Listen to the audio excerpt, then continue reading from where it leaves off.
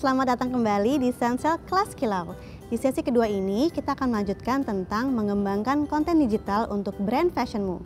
Setelah sebelumnya kita mempelajari tentang pembentukan ide melalui fashion styling, sekarang saatnya mengeksekusi ide kamu. Dalam sesi ini, aku akan memperagakan proses persiapan pemotretan sampai ke momen jepret-jepretnya nih. Mulai dari memilih tema untuk koleksi, pemotretan, sampai mengedit hasil fotomu. Yang pertama, pemilihan tema dan koleksi. Setelah selesai membuat mood board di sesi pertama tadi, kita lanjutkan dengan memilih koleksi produk fashion yang ingin ditampilkan sesuai dengan mood yang telah ditentukan. Penentuan koleksi ini dilakukan berdasarkan elemen-elemen seperti warna dan bentuk pada pakaian maupun aksesoris. Nah, di belakang aku sudah ada beberapa properti yang sudah aku siapkan sesuai dengan konsep dan mood board yang aku inginkan. Karena mood yang aku tentukan adalah pastel chic, maka benda-benda yang aku persiapkan adalah seperti ini.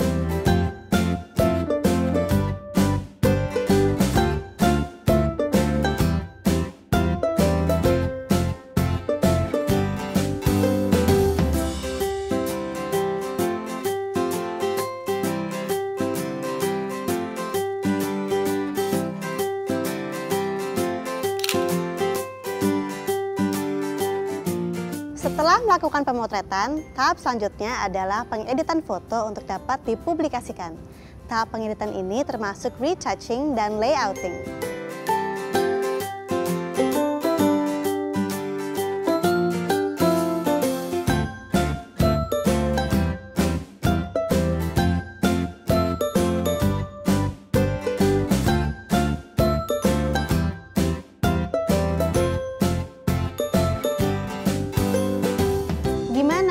Apakah kamu sudah puas dengan hasil foto kamu?